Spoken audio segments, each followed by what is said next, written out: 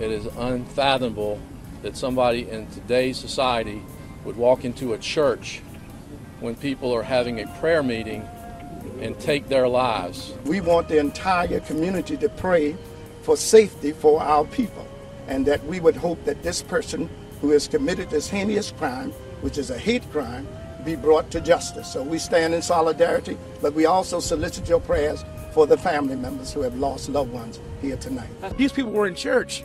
They were in church. In church. And they, and, that, and they violated the sanctity of that.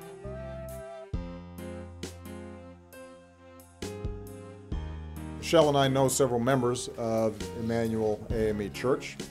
Innocent people were killed in part because someone who wanted to inflict harm had no trouble getting their hands on a gun.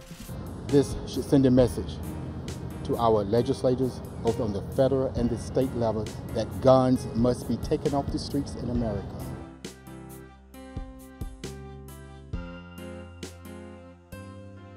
This is the legacy of America, which is acts of terrorism against black and brown people. There's no doubt in my mind that what occurred in Charleston, South Carolina last night is most definitely a hate crime that was racially driven. The world is a messy place right now, and I just hope somehow, someway, somebody just puts it back in order and puts it right back on the straight and narrow path that we need to be.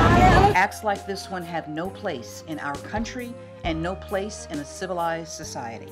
I want everyone in Charleston and everyone who has been affected by this tragedy to know that we will do everything in our power to help heal this community and make it whole again.